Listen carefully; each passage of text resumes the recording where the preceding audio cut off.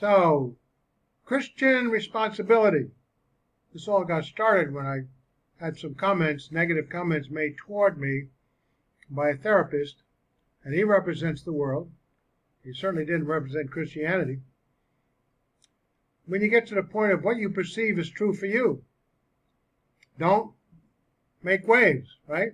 If this is what you perceive is true, then I shouldn't argue. Really? Really? Well, it could it could work uh, not threatening to me, or it could be threatening too. I perceive you're a danger and I have a right to kill you. Really? No, I'm going to argue perceptions based on evidence, not on what you think is true, especially if it affects me and it affects you as a Christian. I have a uh, duty to address the issue if, it, if the thought is brought up. The perception rule. It is often stated that an individual and what he or she says and does is responsible for how others perceive those words and deeds. One rule in business and largely in the world today is that if what you say or do is perceived as offensive to another, then you are responsible for causing an offense, no matter how appropriate your words and delivery, no matter how, if you are directed to respond to a question or just happen to be overheard in the hallway. That's happened to me so many times. I don't know how many people I've had get angry with me and because they don't like my vocal cords. See here right now? I'm not yelling. This is my voice. I'm a man. I'm nearly 80. I've sold equipment for decades. I have a little bit louder voice than than uh, some people. So don't take offense. what do you want me to go? Go to my doctor and have my vocal cords changed to suit you? My accent, same thing. have my uh, give me give me a new pharynx or larynx, whatever it is, and develop a California accent because the one I have from the East Coast is no good. Really? so, reality says that the perception of the human mind is at best faulty. At best. so, in light of this, wouldn't the perception rule make one responsible for another person's another's perception, even if it's completely wrong? Would an individual therefore be subject to discipline for another's lack of ability to understand the meanings of certain words which were expressed or for mishearing what was said? That's your perception. I didn't say that. you know, you can't go before the judge and you're somebody's accused of committing a crime and one guy said, "Well, that's what I heard." So the judge says, "Well, I'll have to go with what he what he heard." But witnesses say, "No, that's not what was said. Here it is in writing. Doesn't matter. The guy that thinks he's offended, he gets the rule. Really, one's perception of another's actions must be stored in one's memory and then recalled. But this perception and memory is flawed at best as well. Psychoheresy Awareness Letter. Some people would have us think that the memory is like a tape recorder that records every event accurately and keeps it intact. But memory research on memory has debunked that myth. Memories are created out of images, overheard conversations, dreams, suggestions, and imaginations, as well as of actual events. Sometimes bad memory. and they change over time. Sometimes you have an agenda. Even as we remember, we tend to fill in the gaps. Therefore, each time a memory is recalled, it is also recreated with the emotions accompanying the recall and with the imagination which fills the gaps. Even immediate recall may be inaccurate simply because of an initial failure to perceive accurately. That is why those who testify about a particular event may give completely different stories. Memories are also very malleable.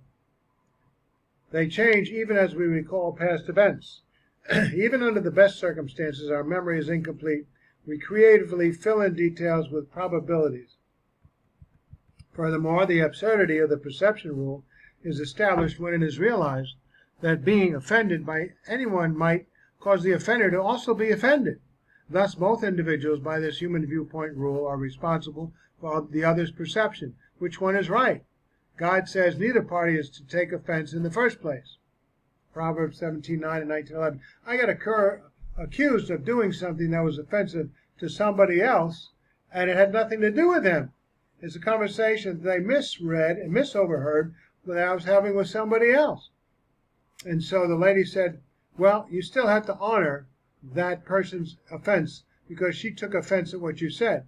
Well, I said to the lady, my boss, I said, Well, I'm offended that they're offended. Now what do you do? She looked at me and puzzled and then walked away.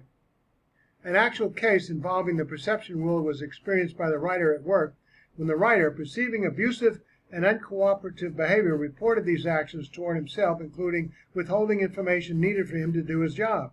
The managers responded for a long while by doing nothing, considering that someone was having a bad day and someone else was overreacting. That was me. Was I? But when the abuse and refusal to provide information continued and was confirmed by others, management stated that it perceived that the writer must have done something which has triggered this behavior in the other individual. So I'm still at fault. This, thus, management was arbitrarily making the writer responsible for the abusive behavior toward himself by using the perception rule. That's how management perceived the situation, so that's how it was. In effect, the abusive individual's unwarranted and vituperative behavior toward the writer was permitted by the use of the perception rule. It was perceived as justified even with, when withholding information by the abusive individual continually caused a disruption in the workflow. This behavior was perceived as being caused by the writer somehow, and the continued abusive behavior resulted in the writer leaving that employment. Another case of wronger, wrongful perception involving the writer occurred at work, which resulted in wrongful ter- determination for being insubordinate. The supervisor perceived insubordination that was non existent. The writer was determined by outside authoritative investigation to have been required to perform beyond human capabilities and then wrongly terminated for insubordination for not being able to follow impossible instructions. So the perception rule was used again, as it usually is, to, to manipulate and control others, even to the extent of getting rid of unliked individuals, thus enhancing one's own position. This is often done by pushing another into unchristian like ways until he responds, and then the perception of insubordination or negative behavior can be claimed and the party forced or terminated from their position. Incidentally, the perception rule does not permit the person being accused of any defense whatsoever.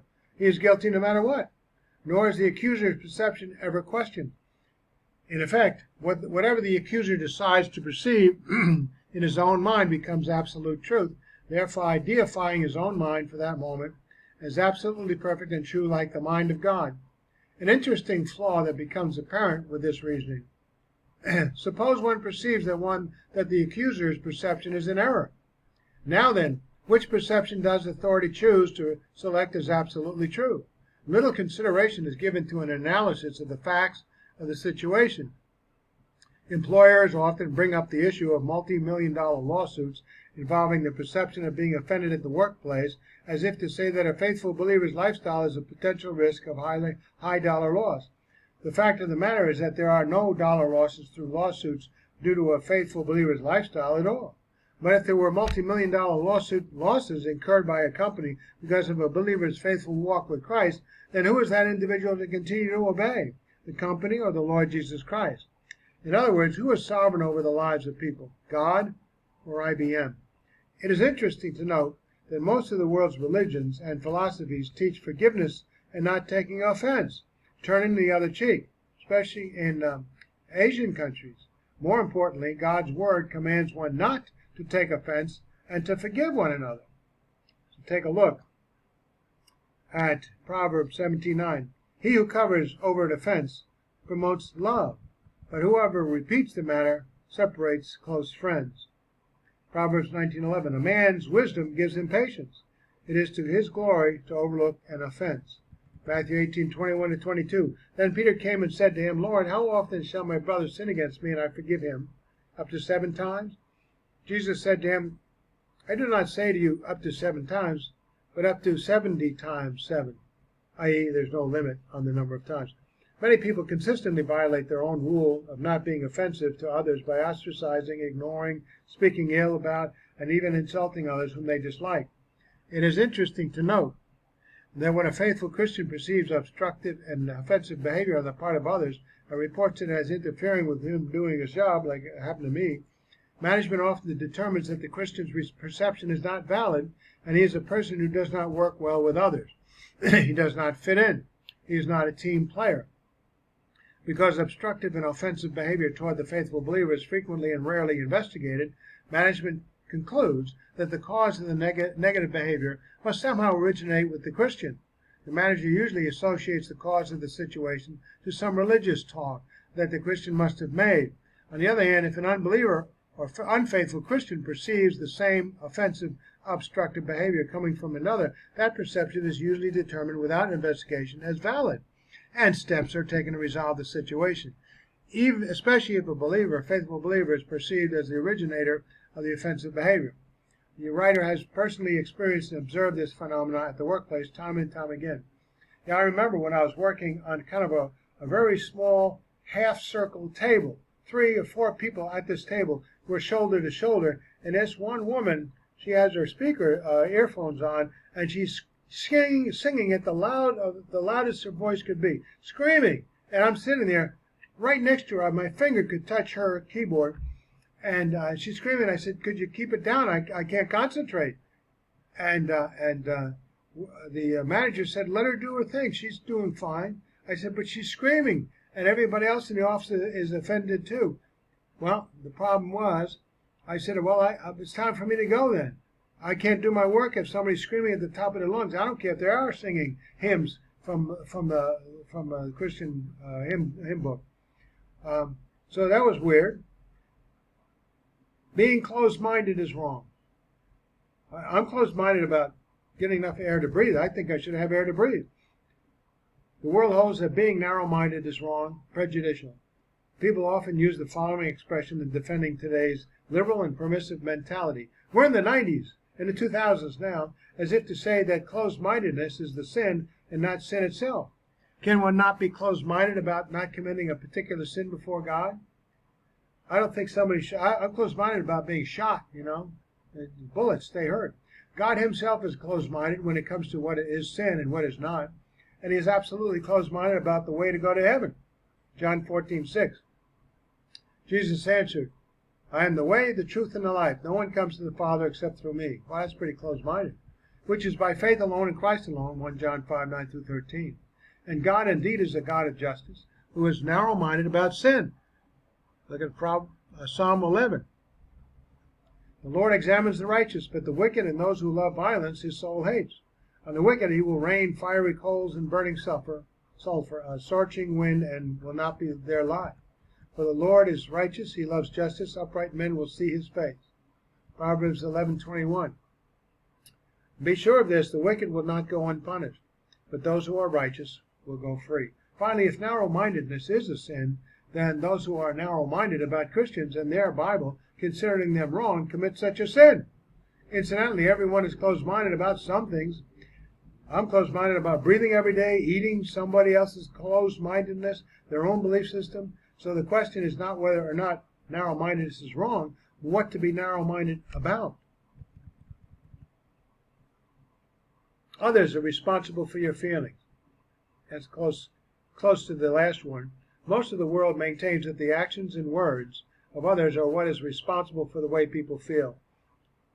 One often says to another, You make me angry. Being in a bad mood, being in a bad mood gives one the latitude of warning others not to take their mood, make their mood worse, and to treat them with a certain latitude of special respect and caution, so as not to cause them to erupt in unpleasant outrage. Scripture maintains that one is not to take offense, so one cannot blame another for how one feels. Furthermore, God's Word provides guidelines for Christians' behavior in the workplace. Romans 12, 9 to 21. Love must be sincere, agape love, self sacrificial love. Hate what is evil, cling to what is good. Be devoted to one another in brotherly love. Honor one another, another above yourselves. Interesting. This, these other things we've been going over is kind of self centered stuff. I'm right and you're always wrong. Never be lacking in zeal, but keep your spiritual fervor serving the Lord.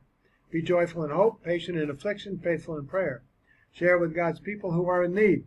Practice hospitality. Bless those who persecute you, and bless and do not curse. Rejoice with those who rejoice, mourn with those who mourn. Live in harmony with one another. Do not be proud, but be willing to associate with people of low position, so do not be conceited. Do not repay another evil for evil. Be careful to do what is right in the eyes of everybody. If it is possible, as far as it depends on you, live at peace with everyone. Do not take revenge, my friends, but leave room for God's wrath. For it is written, It is mine to revenge, I will repay, says the Lord.